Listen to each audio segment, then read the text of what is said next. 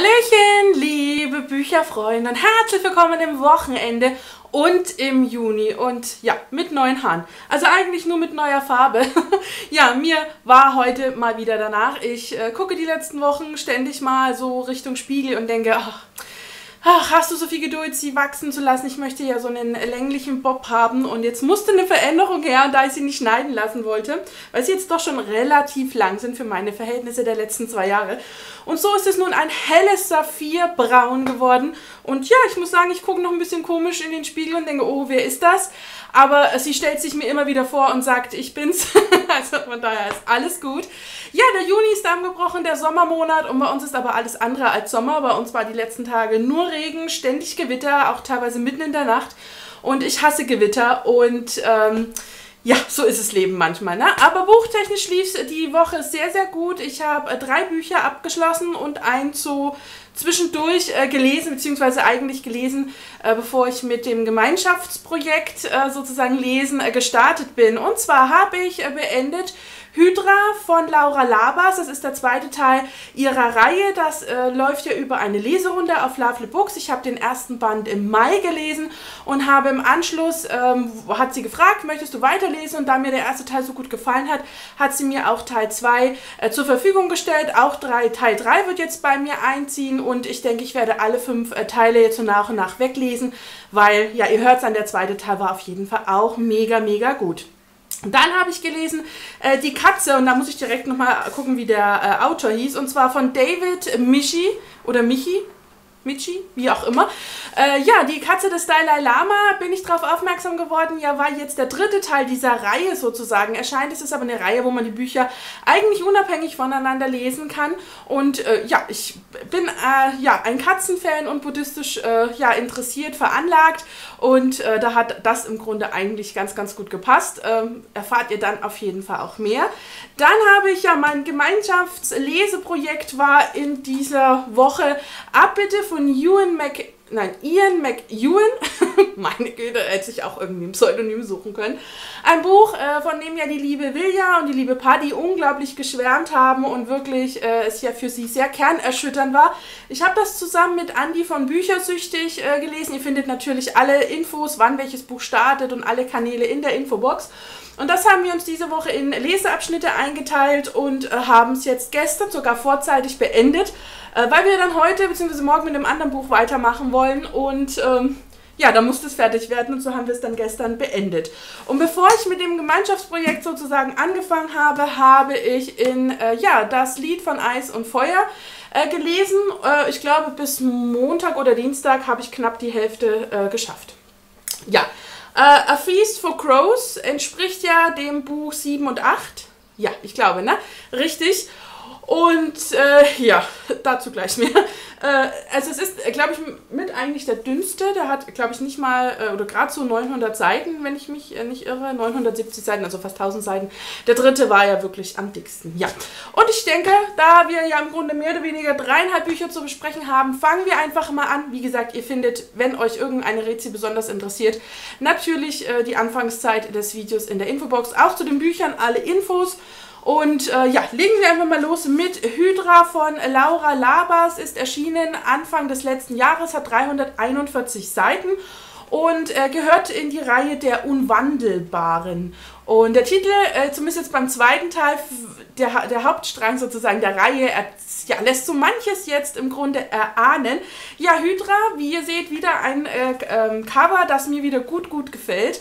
Äh, mir hat ja schon Pharaos unglaublich gut gefallen und ich kann natürlich schlecht jetzt so auf den zweiten Teil äh, eingehen, deswegen so grob, um was geht es in dieser Unwandelbareien? Ja, wir haben Reina, ein junges Mädchen, die bei ihren Großeltern lebt, die hat einen besten Freund äh, Glenn, eine liebste Freundin Felicity, und sie selbst hat irgendwie ja die Gabe, obwohl sie das anfangs noch nicht so sieht, sich in andere Tiere zu verwandeln. Also sie kann im Grunde den Körper übernehmen und sich mit der Seele des Tieres äh, verbinden und kann dann eben als Katze durch die Gegend laufen oder was auch immer. Und äh, ja, sie ist in der Schule so minder gut, würde ich sagen. Und eines Tages taucht bei Felicity eine Gemeinschaft auf und die sagen, dass eben Felicity eine Hydra wäre, also wo wir jetzt auch den Titel sozusagen des zweiten Buches herbekommen. Und Hydra sind eben etwas höher angesehene Wesen in diese Gemeinschaft. Pharaos sind eben genau diese Menschen, die in Tiere bzw. in ein Tier, das sie einmal zum Totem ernannt haben, einsteigen können und dann immer wieder, wenn ein Tier dieser Art in der Nähe oder eben auch umso mehr man das gelernt hat in der Ferne. Äh, und eine Hydra kann im Grunde Gestaltwandler finden. Und Gestaltwandler sind tote Pharos, die aber eben einfach nicht sterben können dann sozusagen, also die Pharos können durchaus sterben, aber äh, wenn eben jemand das umwandelt in etwas Negatives. Und dann äh, ja, entfernt sich eben die Seele vom Körper und äh, die Gemeinschaft möchte aber, dass die Seele intakt bleibt und tötet eben Gestaltwandler, äh, von denen man eben im Teil 1 und auch im Teil 2 davon ausgeht, dass es eben eher so die Bösen in der großen Geschichte sind. So ganz glaube ich das nicht, aber wir gucken mal, was die nächsten Bände zu bieten haben. Es ist aber nicht alles, dass wir uns nur um Gestaltwandler, Pharos, Hydra und sonstiges äh, beschäftigen, sondern es geht hier eben auch darum, dass in dieser Stadt Morde passieren, dass ähm, die alle irgendwie ein bisschen was scheinbar mit Rena zu tun haben und dann auch mit ihren Eltern. Und äh, ist da so manches Geheimnis um die Familie von Rena, ihre Großeltern, ihre Eltern, ihre Mutter, die im Ausland geht, irgendwie sich handelt. Es scheint auch irgendwas mit ihrem besten Freund zu tun zu haben. Und alles passiert eben, als äh, diese neue Gemeinschaft in ihr Leben durch Felicity tritt. Und äh, ja, es war sehr spannend im ersten Teil. Der erste Teil hat mir unglaublich gut gefallen. Ich mochte die Thematik, ich mochte die Idee äh, dieser Gestaltwandler, weil ich fand, es war einfach mal wieder was anderes. Man kennt diesen üblichen Gestaltwandler. Ich fand sehr schön, dass es so tierbezogen war und mochte auch einfach die Gedanken um diese Geschichte herum. Ich mochte den Schreibstil, der in dieser Ich-Form war, sodass wir eben immer Gedanken und auch die Zugänge eben zu den Gefühlen von Reina hatten. Das macht mir immer sehr viel Spaß beim Lesen und das war im Grunde in dieser Reihe wirklich toll. Laura Labas schreibt wunderbar lebendig und äh, ja, auch, auch irgendwie lebhaft und äh, sehr kurz und knackig und sehr schnelllebig. Fast schafft es aber tatsächlich immer in den richtigen Momenten auch ein bisschen ausführlicher zu werden. Ohne dass es langatmig wird, langweilig wird, sondern man bleibt immer dran, man liest immer weiter und denkt sich, ach, ein Kapitel geht noch, ein Kapitel geht noch. Finde ich mega.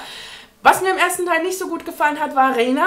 Ich konnte mit ihrem Charakter nicht so viel anfangen, wenn ich ehrlich bin. Sie war mir, ach ja, zu, zu naiv, zu dumm, zu, sie ist ständig in irgendwelche Situationen gepoltert, wo ich dachte, ach, hättest du einfach mal einen Moment drüber nachgedacht. Sie hat sich so absichtlich in Gefahr gebracht. Klar, sie ist eine Jugendliche, das macht man vielleicht so. Wobei ich glaube, sie war ja tatsächlich schon 17 oder 18 oder ist das auch im zweiten Teil. Und das hat mich im ersten unglaublich gestört. Also, dass sie mit vollem Bewusstsein in Gefahr und Ärger gelaufen ist, obwohl ihr drei Leute vorher gesagt haben, sie soll es nicht machen.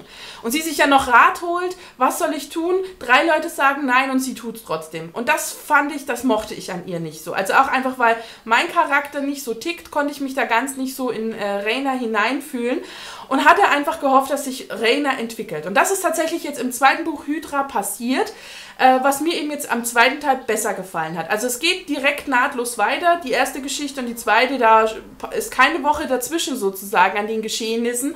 Und ich persönlich fand wirklich, man spürt, dass da schon eine Veränderung von Rainer zustatten geht. Und die war sehr, sehr positiv. Also ich habe Rainer viel, viel öfter verstanden. Ihre Handlungen waren nachvollziehbarer, sie war erwachsener und sie war auch ein bisschen vernünftiger. Wenn sie auch manchmal abenteuerlustig war. Was ich aber finde, das einfach dazugehört. Also dass sie eben auch so ein bisschen die Vor- und Nachteile dieser Gemeinschaft sieht. Dass sie eben nicht alles so schwarz-weiß sieht, sondern eben auch einfach denkt, es kann nicht nur gut und böse geben, es gibt da Unterschiede. Und diese Denkweise mochte ich im zweiten Teil unglaublich gerne. Es war unglaublich spannend, dieser Handlungsstrang. Es gab Wendungen, mit denen ich nicht gerechnet habe. Es gab traurige Momente, es gab lustige Momente.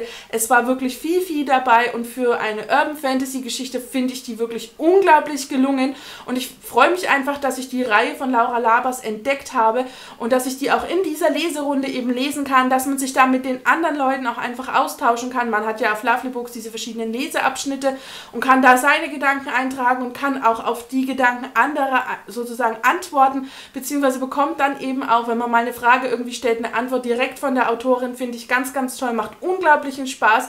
Also gerade dieses Zusammenlesen, ja, finde ich nach wie vor wirklich etwas ganz, ganz Tolles.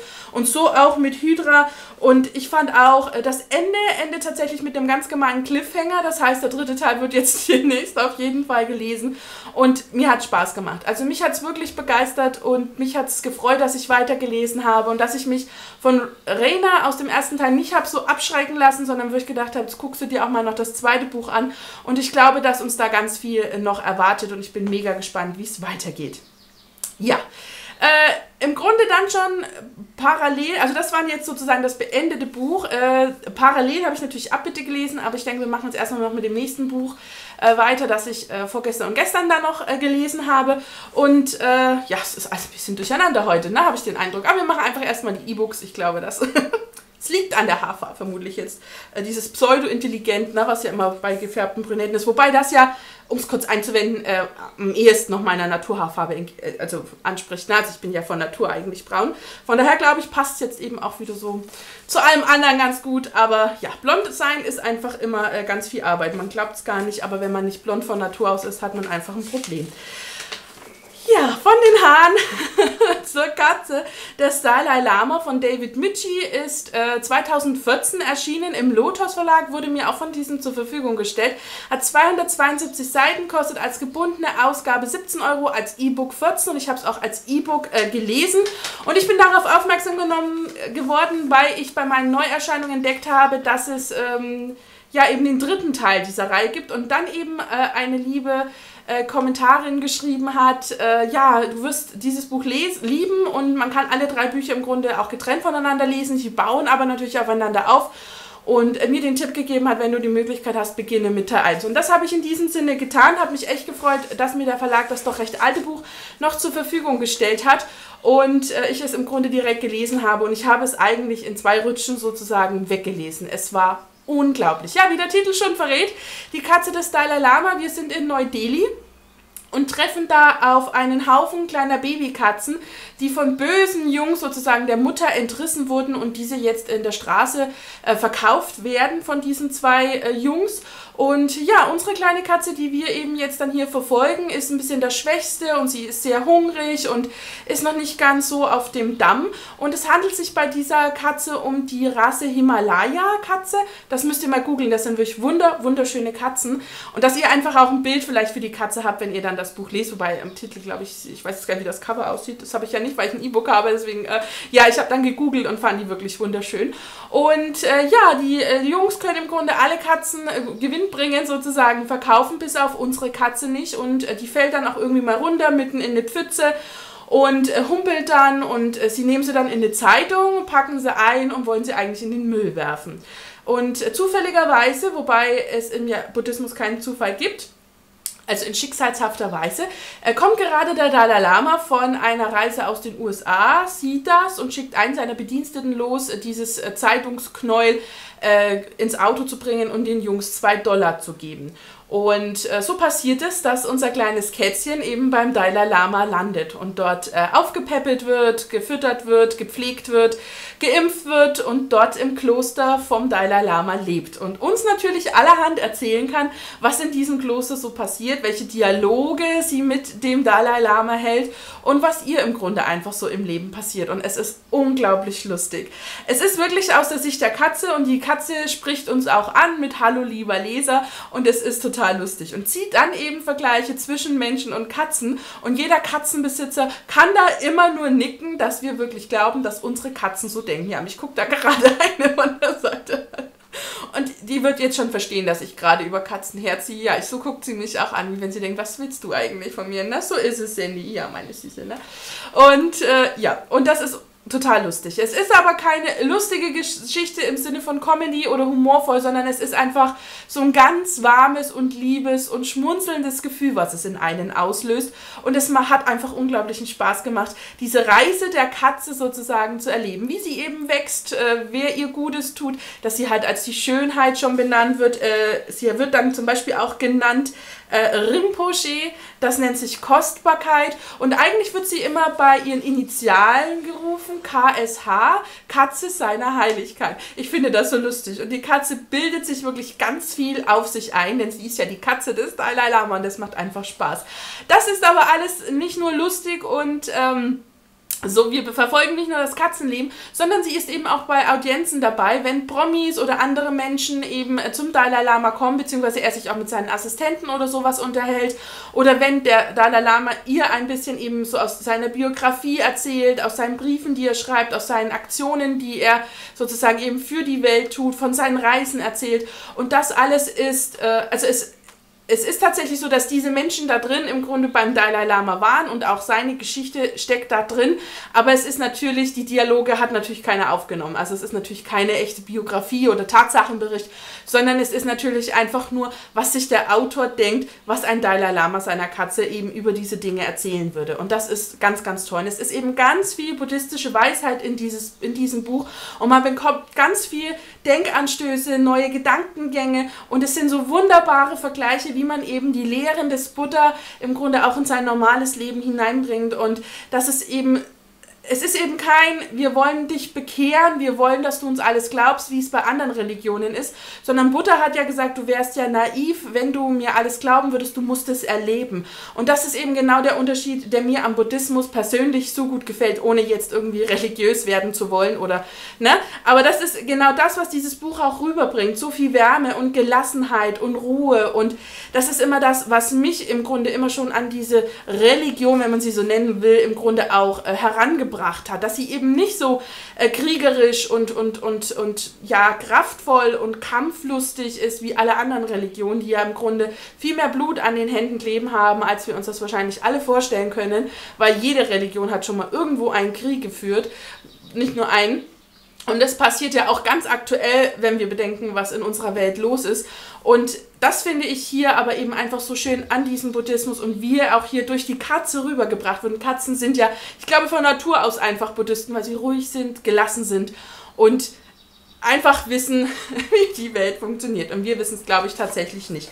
Äh, ja, also ich bin absolut begeistert. Es ist mein Monatshighlight jetzt schon und ich freue mich auf den zweiten Teil, ich freue mich auf den dritten Teil und ich werde direkt, denke ich, jetzt demnächst dann weiterlesen und ähm, ja, mal den Verlag anfragen, ob ich vielleicht auch Teil 2 gleich lesen kann. Mal gucken.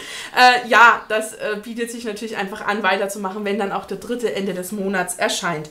Äh, was ich echt schön finde, ich habe mir so ein paar Weisheiten herausgeschrieben und äh, ich werde werde jetzt einfach mal eine hier loslassen, um euch sozusagen ein bisschen ein Gefühl zu geben, ähm, was es in diesem Buch äh, so, so, ja, was es bei mir so ein bisschen ausgelassen hat. Ähm, ja, seine Heiligkeit nickte. Die meisten Menschen glauben, dass eine Veränderung ihrer Lebensumstände die einzige Lösung ihrer Probleme darstellt, obwohl diese gar nicht der wahre Grund ihrer Unzufriedenheit sind. Es geht vielmehr darum, seine Lebensumstände in einem anderen Licht zu sehen. Und ich glaube, da können jetzt viele nicken. also mir ging es auf jeden Fall so. Und dann fand ich schön, Schuldgefühle sind nutzlos. Es hat keinen Zweck, sich wegen etwas schlecht zu fühlen, das in der Vergangenheit liegt und sich nicht mehr ändern lässt. Bedauern dagegen schadet nicht. Und ja, also ich fand es ganz, ganz toll. Ich fand es ein tolles Buch. Ich mochte die Perspektive aus der Katze und es hat sich, wie gesagt, wirklich ratzfatz äh, weglesen lassen, weil man einfach so viel Spaß beim Lesen hatte und es eben was fürs Herz war, was für den Kopf war und mir wieder ganz viele Denkanstöße gegeben hat, die mir unglaublich gut einfach tun. Und ähm, ja, ja. Ich kann nicht mehr sagen, ich fand es wirklich äh, großartig und mir hat es unglaublich gut gefallen. Und schwupps, da waren die 20 Minuten schon fast wieder rum und da dachte ich, mache ich jetzt mal schnell eine Pause, bevor ich mitten im Buch äh, unterbrechen muss. Ja, weiter geht es mit dem dritten Buch, das gestern Abend beendet wurde. Abbitte von Ian McEwan. Knoten. Und wie ihr seht, ganz viele Markierungen. Ja, das äh, Buch wurde mir wärmstens empfohlen von Paddy und von Vilja, die beide äh, ja im Grunde von lebensverändernder Lektüre gesprochen haben und äh, gerade Vilja gesagt hat, danach liest du kein Jugendbuch mehr, weil das eben ein ganz besonderer Klassiker ist. Das Buch ist noch gar nicht so alt, ich glaube etwas über zehn Jahre, wird aber schon als Klassiker gehandelt und ist im Diogenes äh, Verlag erschienen, kostet, ich weiß, ich habe jetzt glaube ich den Preis gar nicht aufgeschrieben, nein, ich habe mir den Preis nicht aufgeschrieben, oder doch?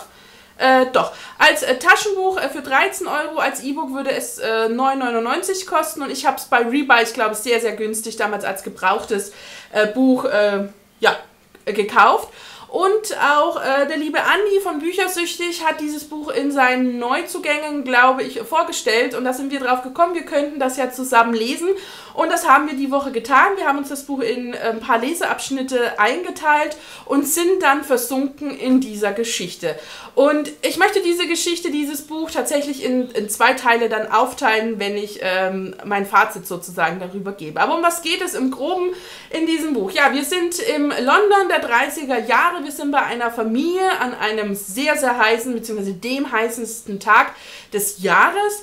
Und allerhand passiert in dieser Familie. Wir haben Brioni, ein 13-jähriges Mädchen, das schon Geschichten schreibt, das gerne ein Theaterstück aufführen würde mit ihrer Familie und die ganz eigene, manchmal sehr merkwürdige Gedanken haben. Wir haben ihre Schwester Cecilia, die glaube ich also schon auf der nächsten Schule ist im College und äh, ja eigentlich zurückkehrt, gar keinen Drang mehr hat, eigentlich so ein Familienmensch zu sein, sondern die sich eigentlich so ein bisschen nach der Ferne rührt. Wir haben einen Vater, der ständig abwesend ist, der ständig auf Arbeit ist. Wir haben eine Mutter, auch von der erfahren wir so einiges. Äh, die Emily, äh, die äh, unter starker Migräne leidet, uns auch wunderbar schreibt, wie sie, also erzählt, wie das empfunden wurde in den 30er Jahren die irgendwie nicht alles so unter Kontrolle hat. Gleichzeitig hat sie eine Schwester, die in Scheidung lebt, was ja damals wirklich ganz, ganz schlimm war. Und somit leben jetzt bei Brioni und ihrer Familie nicht nur die eigentliche Familie, sondern auch äh, die beiden Cousins, das sind Zwillinge, und die Cousine Lola. Und es wird ein äh, interessantes Abendessen geben, wo auch äh, der Bruder von Brioni und Sissi auftaucht, der auch seinen guten Freund Robbie irgendwie eingeladen hat. Und zwischen Robbie und Sissi, da könnte irgendwas laufen. Wir erleben im ersten Teil der Geschichte diesen heißesten Sommertag, der in einem Drama endet. Und dann sind wir viele, viele Jahre weiter und stecken mitten im Zweiten Weltkrieg, um dann eben auch Kriegseindrücke sozusagen zu bekommen. Und dann kommt sozusagen das Finale. Und die Geschichte erzählt eben von diesem Abend, der für alle Beteiligten ein unglaubliches Ausmaß an Veränderung und an Schicksalen hat und das Leben aller verändert und man dann eben erfährt, warum und weshalb und wie das alles gekommen ist und wie es das Leben verändert hat und dass es eben manchmal keine Abbitte gibt. Ja, ein Buch, ja. Es hat großartig angefangen. Der erste Teil des Buches, also es ist in drei Teile unterteilt. Der erste Teil des Buches hat, ich sage jetzt einfach mal uns, unglaublich gut gefallen. Wir haben direkt äh, sogar noch Kapitel heran, hinangehangen, um äh, weiterzulesen, weil wir dieses Gefühl dieses heißesten Tages in London unglaublich toll fanden. Ich mochte wie erzählt wurde. Ich fand, es war so ein weiches Erzählen. Man hatte nicht den Eindruck, dass das ein Mann wahrnimmt, sondern ich hatte im ersten Mal den Eindruck, das schreibt eine Frau.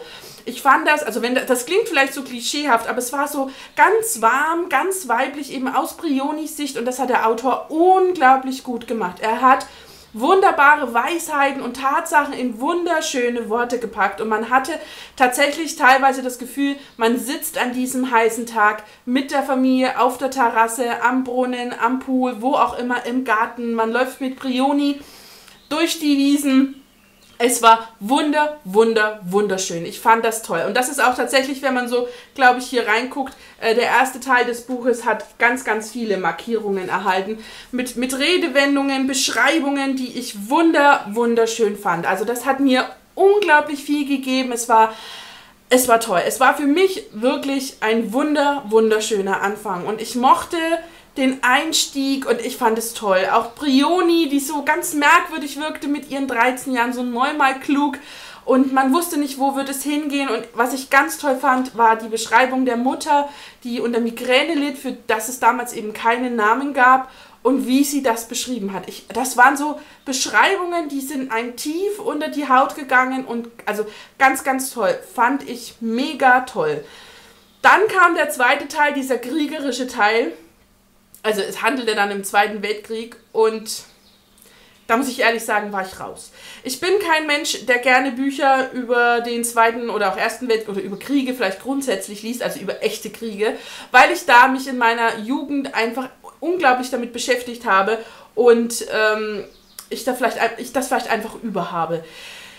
Auch, muss ich ehrlich sagen, hat mir im Nachgang nicht ganz eingeläutet, für was dieser Teil gut gewesen sein sollte. Also wir erleben Robbie im Krieg, dann noch Brioni, die da als, als Schwester eben arbeitet und... Äh, ich weiß nicht, ob man einfach das Kriegerische einfangen wollte, um es irgendwie wertvoller, intelligenter oder keine Ahnung zu machen. Mir hat sich der Sinn dieses Kriegsabschnitt nicht ganz eingeleuchtet sozusagen. Er hat mich nicht ganz gefesselt. Also ich, es war in Ordnung geschrieben, gar keine Frage. Ian McEwan hat äh, schon die, die Kunst, einen, eine Geschichte rüberzubringen, nahezubringen, Gefühle in einen auszulösen. Und Krieg ist aber bei mir einfach das ist so kein gutes Gefühl. Also es soll das auch nicht sein, aber äh, ja, fand ich nicht mehr so toll. es hat sich dann tatsächlich auch für uns beide gleichermaßen gezogen. Wir haben uns ja äh, dann immer nach den Leseabschnitten ausgetauscht und da waren wir beide nicht sehr begeistert davon und das fand ich schade. Und dann hatten wir schon Angst, oh, jetzt haben wir ja noch so viel äh, in diesem Buch, wir müssen jetzt weiterlesen und wir haben uns da auch dann, denke ich, einfach gegenseitig ein bisschen motiviert. Und äh, der dritte Teil äh, geht dann im Grunde wir beobachten wieder jemanden, den wir schon aus dem ersten Teil kennen. Ich möchte ja jetzt keinen spoilern, ähm, um da irgendwas zu erzählen. Und der war dann wiederum viel, viel schöner für mich. Also der ist dem ersten wieder ein bisschen näher rangekommen, den ersten Teil.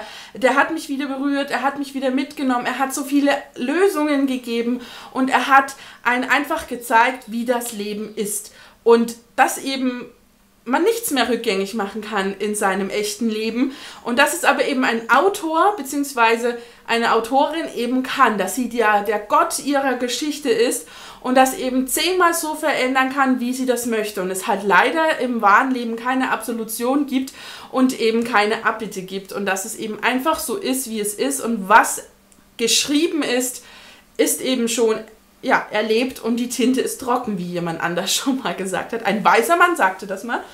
Äh, ja, alles in allem ein Buch, das ich froh bin, dass ich es gelesen habe, dass mir schon gerade wirklich der Anfang unglaublich viel gegeben hat. Es war auch sehr was fürs Hirn. Das muss man echt sagen. Es war kein Jugendbuch, obwohl ich das nicht negativ reden möchte, weil ich auch gerne Jugendbücher rede. Aber man spürt schon hier, dass da graue Zellen einfach äh, aufwachen und ah, ich darf auch mal wieder denken.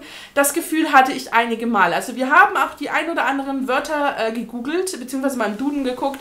Äh, ja, was ist es denn? war sehr lustig. Und äh, ja, also das kommt ja tatsächlich eher selten vor in, in Jugendbüchern. Und das hat natürlich Spaß gemacht. Und es war ein Lesegenuss, wenn er eben auch mit Abstrichen war. Und es war jetzt leider nicht das Buch, was ich aus der Schwärmerei von Paddy und Vilja erwartet habe. So lebensverändernd. Also es hat mich nicht im Kern erschüttert. Ähm, vielleicht einfach wegen diesem Kriegsteil, ähm, der mich einfach nicht so packen, fesseln und lebensverändern kann, weil das eben schon mal in meiner Vergangenheit passiert ist. Also mich haben Kriegsgeschichten schon mal sehr zum Umdenken gebracht und zum Anderssehen gebracht und schon mal im Kern erschüttert. Das kann man halt schlecht dann wiederholen. Also ja, dennoch ein unglaublich gutes Buch. Es ist wirklich wahrscheinlich Jammern auf hohem Niveau und wer sich nicht vor der Thematik Zweiter Weltkrieg fürchtet, wird damit seinen Spaß haben und eben auch spüren, dass man eben mit ganz tollen Worten und Sätzen und Redewendungen ja, einfach eine tolle Geschichte schreiben kann. Und äh, ja, das fand ich wirklich mega, mega toll. Ich äh, weiß jetzt gar nicht, äh, ob, ob ich da groß irgendwas picken kann, ohne vielleicht zu viel äh, zu verraten. Hier zum Beispiel. Sie konnte einfach nicht anders und nicht alles, was Menschen taten, war logisch und korrekt. Vor allem dann nicht, wenn sie allein waren. Und da, das war der erste Moment, wo ich lachen musste, weil ich dachte, genau so ist es. Da haben wir uns dann noch ausgetauscht, was wir für Unfug treiben, wenn wir alleine sind. Und ähm, sehr schön hier, dass jede Liebe, die nicht auf Vernunft basiert, zum Scheitern verurteilt ist was so manches im Leben erklären wird. also definitiv eine Leseempfehlung, wenn auch meine Erwartungshaltung sehr, sehr hoch waren und deswegen wahrscheinlich gar nicht eingehalten werden konnten. Aber ich äh, ja, finde es toll, dass ich es gelesen habe und äh, wir hatten äh, sehr viel Lesespaß und äh, ja, auch der Austausch mit Andi war wirklich sehr gelungen. Ich kann jedem nur empfehlen, äh, gemeinsam Bücher zu lesen und sich über das Gelesene auszutauschen. Das macht unglaublich viel Spaß und gibt einem auch einen Mehrwert äh, der Geschichte, weil man natürlich ähm, auch manchmal einfach Aspekte sieht oder einem erzählt werden, an die man selbst gar nicht gedacht hat oder darauf einfach hin gewiesen wird oder wie siehst du das und das? Und wir haben halt dann auch Vermutungen angestellt, wo geht es hin und in welche Richtung geht es und das, äh, ja, das hat man vielleicht im Privaten gar nicht. Also ich hätte jetzt niemanden in meinem Bekanntenkreis, der mit mir Abbitte gelesen hat und ähm, ja, Booktube ist einfach toll und man trifft hier eben auch einfach Menschen, die gleichen Bücher wie man selbst auf dem Sub hat und äh, ja, so ist dann auch direkt das nächste Buch, was gelesen wird, auch ein Buch, äh, das wieder gemeinsam gelesen wird. Also der Juni steckt voller gemeinsamer Lesen. Dann ein Buch, ja, von dem ich jetzt nicht schwärmen kann. Ja. Ja, A Feast for Crows, George R. Martin, der vierte Teil der Song of Ice and Fire Sage. Und ich kann dazu gar nicht viel sagen, außer oh, ich habe ein Frodo-Déjà-vu. Äh, ja, also es ist ja der siebte und achte Teil der Game of Thrones Reihe, der das Lied von Eis und Feuer, ich glaube auch ein Kampf für Krähen, nee, wie heißt das Deutsche? Ich habe keine Ahnung, wie die deutschen zwei Bücher heißen, weil ich sie auch einfach nicht äh, kenne. Ja, ich weiß es wirklich nicht. Guck nach, wie Teil 7, 8 und, nein, 7 und 8 heißt. Äh, auf jeden Fall auch irgendwas mit Krähen, da hat man, glaube ich, sich dem englischen Band angepasst. Ja. Band 1 bis 3 waren hammer, genial, toll. Wir sind hier in einer High-Fantasy-Welt. Ich glaube, ich muss dazu gar nicht mehr so viel sagen. Ja, der vierte Teil. Ich finde ihn furchtbar. Also er ist unglaublich langweilig. Es ist unglaublich viel Brienne. Also wir folgen hier Brienne van Und wer sie in der Serie noch gut findet, wird sie im Buch hassen. Sie ist seitenlang und kapitellang unterwegs auf der Suche nach jemandem. Also jeder, der weiß, wem sie in der Serie gesucht hat, weiß, wem sie auch im Buch sucht. Und es ist immer das Gleiche. Sie erzählt ihre Geschichte. Sie erzählt die Geschichte von der, der sie sucht. Und jeder erzählt ihr, oh, da musst du aber Wahrheit suchen. Ja, und jeder sagt ihr das und sie sucht und sucht und sucht schrecklich. Ich finde es unglaublich schrecklich. Also für mich sind das wirklich Frodo-Momente. Ich bin, also Herr der Ringe und Frodo und ich sind keine guten Freunde. Also Frodos Part fand ich noch beim ersten Mal spannend, beim zweiten Mal okay, beim dritten Mal finde ich ihn furchtbar und blätter ihn weg. Ähm, was mir sehr leid tut, da ich ja ein äh, Samwise Ganchi-Fan bin und äh, ihn dann natürlich auch verpasse, aber ich weiß ja in den richtigen Momenten reinzublättern. Briennes Teil hat sich unglaublich für mich gezogen. Also wie gesagt, ich bin so bis Mittwoch, glaube ich, bis zur Hälfte gekommen. Ja. Was daran lag, weil ich auf Andi gewartet habe, dass wir mit Abbitte loslegen können, sozusagen. Und dann eben parallel gelesen haben. Ja, also jetzt werdet ihr sagen, hey, in vier Tagen die Hälfte sind ja knapp 450 Seiten oder so. Ja, also es war nicht ganz die Hälfte, glaube ich. Muss ich mal in meinen Lesemonat gucken, da habe ich es zum Teil aufgeteilt äh, für den Mai. Aber ja, ja auch sehr merkwürdig ist, wer uns in dieser Geschichte etwas erzählt. Also wir haben nicht die bekannten Verdächtigen, aus deren Perspektive wir sonst lesen. Es gibt, glaube ich, hier gar kein Inhaltsverzeichnis, dass wir von vornherein wissen, wer uns erzählt. Ich weiß gar nicht, ob es hinten drin steht, ich glaube auch nicht. Denn wir, ja, wir haben hier ganz unbekannte Leute. Wir haben hier irgendjemanden, der uns was aus äh, Dorne erzählt. Wir haben hier noch jemand viel Unbekannteres, der im grünen Tal ist, bei den Arrens, ähm, wo auch Peter Baelish dann im Grunde auftaucht. Wir haben, ähm, ja, wir haben Bran und Arya. Also die Geschichtsstränge sind, glaube ich, so die einzig spannenden. Auch die von Samuel Tully. Äh, das sind die drei, die ich ganz spannend und toll finde und folge. Und man da ganz viel mehr herauszieht als aus der Serie. Das ist tatsächlich so, finde ich, unglaublich toll. Und ich habe schon mal, ja, wie ich manchmal so bin, ein bisschen nach hinten geblättert. Und da steht dann tatsächlich, also deswegen habe ich jetzt noch die schlimmsten äh, Verdächtigungen, äh, dass, äh, die, tatsächlich nicht auftauchen. Und zwar heißt es, ähm, nicht Appendix, wo bin ich denn? Ich habe es irgendwo gelesen. Ach, hier. Uh, meanwhile, back on the wall, also sozusagen währenddessen an der äh, Mauer. Und dann heißt es hier, hey, warte eine Minute. Äh, werden jetzt einige von euch sagen, warte eine Minute, warte eine Minute. Wo ist Danny und die Drachen? Wo ist Tyrion? Wo äh, ist Jon äh, Snow und äh, ja, ich habe die alle nicht gelesen und dann äh, kommt die Antwort sozusagen von George R. Martin, äh, gut, nein, die kommen nicht mehr. Ein anderes Buch ist größer als dieses und erst dort werden die Geschichten erzählt. Das heißt, ich werde diese Charaktere nicht im vierten Band wiederfinden und ich bin jetzt schon genervt. ja, was äh, wir sind auch äh, bei den Graufreuds. Erzählt uns auch irgendwer seine Geschichte, äh, als bei den Eiseninseln. Ja, was soll ich sagen?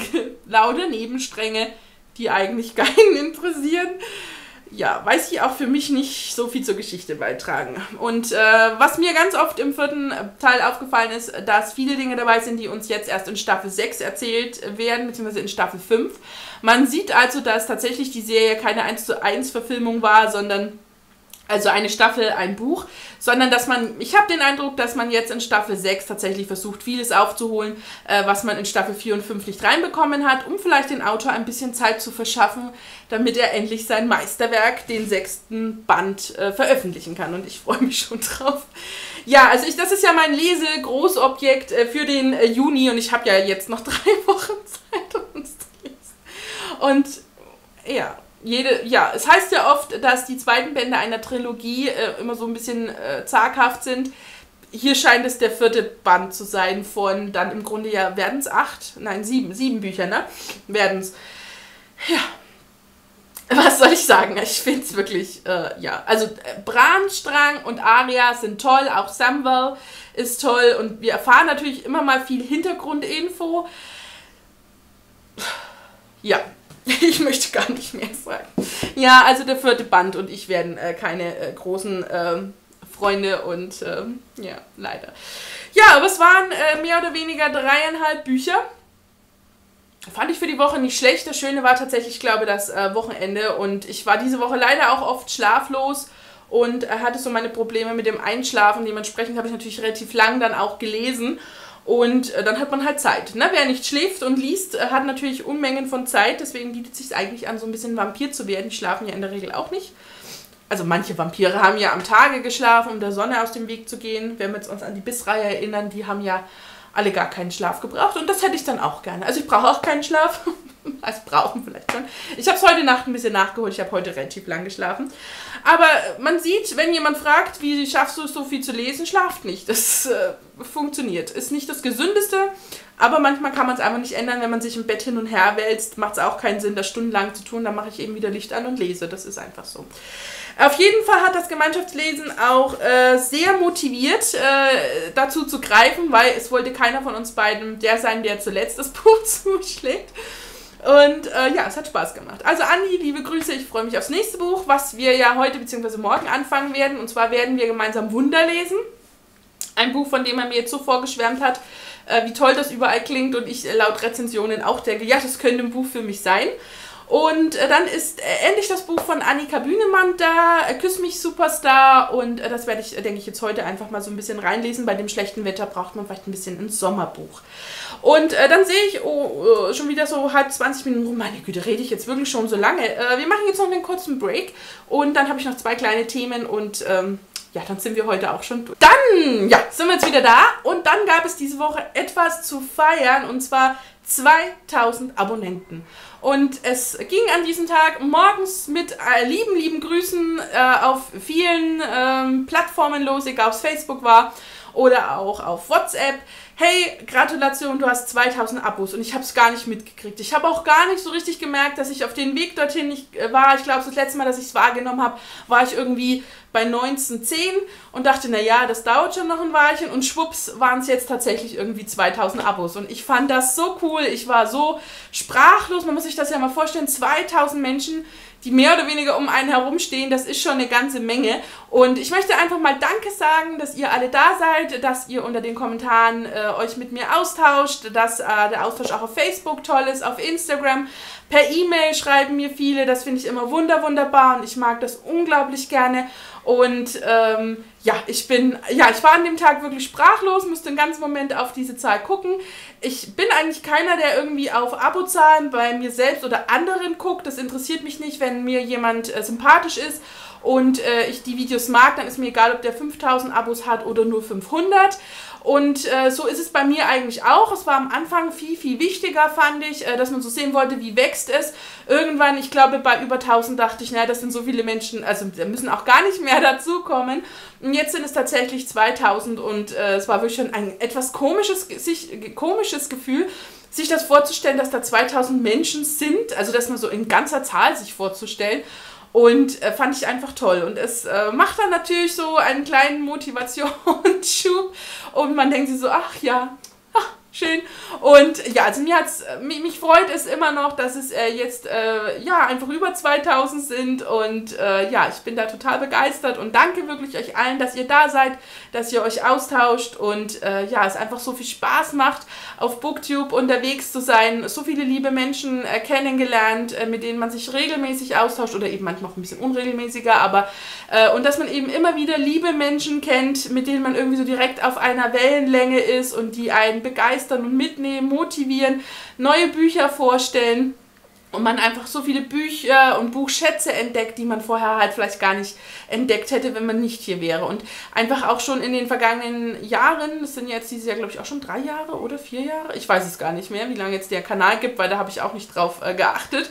Ähm, drei Jahre, glaube ich, sind es. Was haben wir? Ich, ich weiß es gerade nicht mehr. Und äh, wie viele Menschen man kennengelernt hat, Autoren, welchen Austausch man da hat, dass man auch mal so hinter die Kulissen guckt und es gibt einfach so viele liebe Menschen hier und ich sage jetzt einfach mal an alle Danke und schön, dass ihr hier seid. Und äh, dann rocken wir jetzt einfach mal die 2000 und äh, gucken, wann es den nächsten Meilenstein. Ich bin ja gern so ein Schnapszahler eigentlich, also dann die 22, 22 sozusagen. Ähm, ja, ich denke, da lasse ich mir dann mal was einfallen. Ja, ich mag ja Schnapszahlen wie mehr. Mein Auto hat ja auch ein Kennzeichen mit vier Achten. Äh, von daher ist natürlich auch eine sehr schöne Zahl. Aber ja, das dauert dann natürlich nur ein Stück. Das sind wir ein bisschen weit weg. Aber ja, hat mich unglaublich gefreut. Das nächste, was mich äh, sehr gefreut hat, ist, dass wir einen Leseclub äh, gegründet haben auf Facebook und Leseklub klingt vielleicht ein bisschen merkwürdig, aber es trifft es einfach auf den Punkt. Und zwar haben die liebe Alicia von All About Alice und äh, der liebe Phil, wir haben uns entschlossen, im Juni gemeinsam Eleanor und Park zu lesen. Und das steht auch gerade günstigerweise hier. Ich habe mir das in gebrauchter englischer Form äh, gekauft und habe, glaube ich, bei Phil gesehen, dass es auch bei ihm eingezogen ist. Und äh, habe dann ihn einfach äh, über die Kommentare angeschrieben, hey, lesen wir es im Juni zusammen. Und äh, Alice hat dann auch drunter geschrieben, oh, sie hat es auch noch auf dem Sub. Äh, vielleicht motiviert sie das jetzt zu lesen. Und das werden wir ab nächster Woche lesen. Das ist ja dann der 19. glaube ich. Oder in zwei, nein, in zwei Wochen sogar erst lesen, ne? In zwei Wochen. Ich bin gerade verwirrt. Was haben wir heute? Den fünften, ne? Den, den vierten. Wo bin ich? Ich sehe meinen Kalender nicht. Ja, den vierten. Und ab 19. lesen wir eben zusammen Eleanor und Park. Da ganz viele äh, bei mir bei den Neuzugängen, beziehungsweise in meinem Want-to-Read-Video dieser Woche äh, geschrieben haben, hey, sie würden auch gerne mitlesen. Und auch bei Phil sich einige gemeldet haben, haben wir eine Facebook-Gruppe gegründet, die sich jetzt einfach erstmal Leseklub, ich glaube Juni, Eleanor und Park nennt. Und äh, ja, das sind schon einige mit eingezogen. Ich packe euch die Gruppe mal in die Infobox. Wer Lust hat, da einfach mal vorbeizugucken und auf Facebook ist, äh, kann da einfach, äh, ja, im Grunde Mitglied sozusagen werden. Kostet auch nichts, ne? also ist keine teure Mitgliedschaft. Und äh, ja, wir haben uns jetzt im Juni für dieses Buch entschieden und jeder, der das auch mitlesen möchte, wir haben schon äh, Leseabschnitte eingeteilt für jeden Tag. Ich glaube, so knapp 50 Seiten waren es gewesen. Es ist natürlich kein Muss, wenn einer mal nur 40 Seiten schafft oder gleich 60 Seiten liest, äh, wird er auch nicht gesteinigt. Deswegen ist es halt, ne, nur damit man sich nicht gegenseitig eigentlich spoilert, wenn man an dem Tag darüber spricht, äh, dass man dann alle im Grunde auf dem gleichen äh, Stand ist. Und ja, so werden wir jetzt im Juni Eleanor und Park lesen und äh, wir stellen uns dann eben vor, dass wir uns dann eben jeder immer mal jeden Monat, also abwechselnd alle drei, äh, dann eben einfach mal ein Buch aus unserem Sub herauspicken. Also das ist eigentlich so unser Gedanke, dass wir unseren Sub abbauen wollen. Wir wollen nicht gemeinsam Neuzugänge lesen, sondern eben Subbücher, verschiedenste Genres, was jeder von uns eben einfach gern liest. Und dann vielleicht sich so zwei, drei Bücher auswählt, die zur Umfrage stellt und dann, wo eben das meiste Buch im Grunde gewählt wurde, dass man das eben dann wieder mit der Gruppe liest. Und es kann natürlich sein, dass wir drei dann eben nicht immer dabei sind, die, also einer von uns dreien dann eben nicht dabei ist, weil wenn ich das Buch gerade nicht auf dem Sub habe, beziehungsweise es mich nicht anspricht, ob ich es dann kaufen würde, wäre jetzt mal dahingestellt. Die Sache ist natürlich die, wenn das ein älteres Buch ist, was mich schon lange interessiert, auf der Wunschliste steht, dann kann man es natürlich immer noch gebraucht kaufen, was ja wiederum vom Preis her dann nicht das ist, wie wenn ich ein Neuzugänge-Buch mir zulegen würde und äh, wo man dann eben sagt, dann baue ich eben auch die Wunschliste ab. Also ich finde nicht nur Subabbau irgendwie toll, ich finde auch Wunschlistenabbau toll. Baut sich natürlich der Sub wieder auf, aber man kann nicht alles haben im Leben und es das heißt ja so schön, hat glaube ich Abraham Lincoln gesagt, ein Mensch, der keine Laster hat, hat auch keine Tugenden und deswegen habe ich als Laster dann eben meine, äh, meine Bücher und äh, ja, ich finde Das ist eigentlich nicht schlecht. Irgendwas muss ja der Mensch haben. Ne? Ich rauche nicht, ich trinke nicht, äh, Drogen nehme ich auch keine. Und äh, ja, von daher sind es halt einfach Bücher, so ist das Leben. Und äh, ja, und so haben wir uns in etwa irgendwie diesen Leseclub vorgestellt. Es ist alles relativ äh, locker und spontan von uns so besprochen worden. Und äh, die beiden sind auch ganz liebe äh, Menschen. Und ich, wie gesagt, verlinke alles in die Infobox. Und ich freue mich auf Eleanor Park, eben das auch in der Gemeinschaft zu lesen. Ich bin sehr gespannt, wie gut das in der Facebook-Gruppe funktioniert, wie wir da unsere Leseabschnitte miteinander teilen und wer welchen Eindruck hat. Und ich finde das wirklich spannend und interessant. Und wie gesagt, wenn ihr gerade aktuell vielleicht Eleanor und Park auf dem Sub habt, dann guckt einfach mal vorbei. Und wenn ihr grundsätzlich sagt, hey, ich möchte da einfach vielleicht in Zukunft dabei sein, dann guckt einfach in die Gruppe, steigt mit ein und dann werdet ihr da im Grunde sehen, was wird im Juli gelesen, was im August und so weiter. Und äh, seid da einfach bei diesem kleinen Projekt so ein bisschen mit dabei. So, ich glaube, jetzt habe ich definitiv genug geredet von dieser Woche. Natürlich gab es Game of Thrones. Es gab auch unseren tollen Hangout zur sechsten Folge, die ich äh, sehr toll fand, die endlich mal wieder meinem High Fantasy äh, Vorstellungen entsprochen hat. Und ich packe euch den Hangout, den wir bei ja, bei der Lisa hatten. Ex-Libris Lisa, meine Güte, jetzt ist der Name schon weg. Äh, da waren wir diese Woche und ich weiß jetzt leider gar nicht, wo wir nächsten Dienstag 2030 sein werden, aber folgt mir einfach auf Facebook und Instagram. Da werde ich es auf jeden Fall wieder posten, wo wir uns Dienstag treffen. Es ist auf jeden Fall wieder Dienstag, 20.30 Uhr. Und da werden wir dann eben über die siebte Folge sprechen. Und dann sind es tatsächlich eigentlich nur noch vier Folgen, bis es schon wieder rum ist. Meine Güte, ne? wie die Zeit vergeht. Ähm, ja. Ja, Wahnsinn. Dann sind zehn Folgen schon wieder vorbei. Aber wir sind ja mittendrin sozusagen und ihr findet ja alles in der Infobox. Und es ist nach wie vor, ich glaube, wirklich mit die geilste Serie, die es gibt und die einen zum Nachdenken anregt und die einen mitnimmt, die mich persönlich auch in die Träume verfolgt und sowohl positiv wie negativ und ja, ich einfach liebe. Und äh, ja, finde ich einfach ganz, ganz toll. Und ähm, ja, jetzt glaube ich, genug gesagt für heute. Ich hoffe, ihr hattet Spaß mit der Bücherwoche, die jetzt doch ein bisschen länger ausgefallen ist, aber bei dreieinhalb Büchern, da muss man natürlich sich ein bisschen Zeit nehmen. Ich hoffe, euch hat es gefallen. Schreibt mir gerne so ein bisschen eure Meinung vielleicht zu den Büchern, wenn ihr sie schon kennt, in die Kommentare oder ja, wenn ihr einfach sagt, äh, was ihr vielleicht demnächst als nächstes lesen wollt. Immer her mit den Infos, würde ich mich auf jeden Fall freuen. Schaut auch mal bei den vielen anderen Kanälen vorbei, die ich euch verlinkt habe. Sie sind auf jeden Fall einen Klick wert. Und äh, ja, ich danke euch nun fürs Zusehen, wünsche euch noch einen Tag, ne, nein, wünsche euch noch einen schönen Tag, einen schönen Abend, meine Güte, zu viele Buchstaben auf einmal. Und ja, lasst euch gut gehen und ich hoffe, wir sehen uns beim nächsten Video. Tschüss, eure Steffi.